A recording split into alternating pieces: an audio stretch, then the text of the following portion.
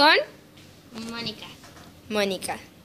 ¿Y sobre qué tema vas a hablar, Mónica? El mal de Kawasaki. El mal de Kawasaki. Ya, La, la enfermedad que puede llegar a ser mortal. ya, prosiga. El mal de Kawasaki es una enfermedad mortal que si, que si no se toma atención inmediata podría tener menos posibilidad de vida y podría morir.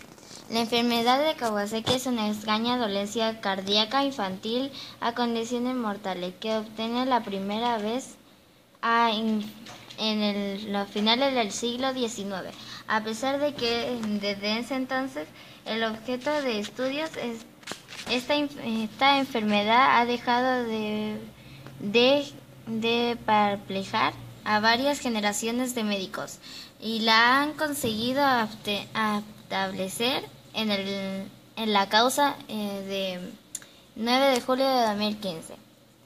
Es más común en los bebés y en los niños pequeños.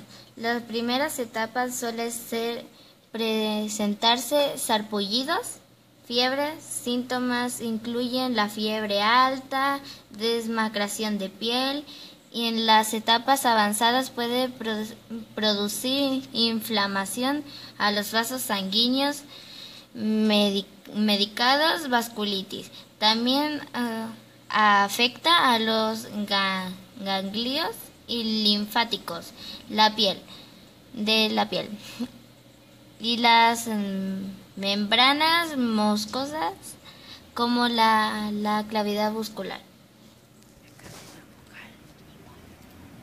Ya. En, en mi opinión es, es una, una enfermedad muy seria. Esta enfermedad puede, puede, aparte, puede ser consecuencias en la sangre. Puede que incluyente y cuando te inyecten tienes que tener más información por seguridad. Lo peor es que tal vez hay miles de niños que literalmente están luchando por sus vidas sabiendo que tienen una vida por delante. Muchos mueren a causa de esta enfermedad o otra enfermedad. Les mostraré una foto que puede ser que puede ser fuerte.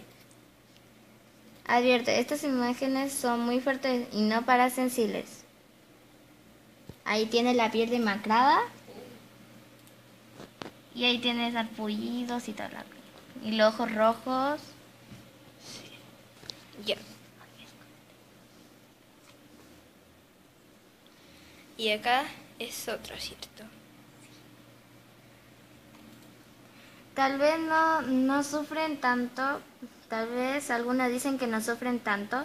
Y, y lo digo de corazón porque yo lo tuve y no quiero que otros lo tengan.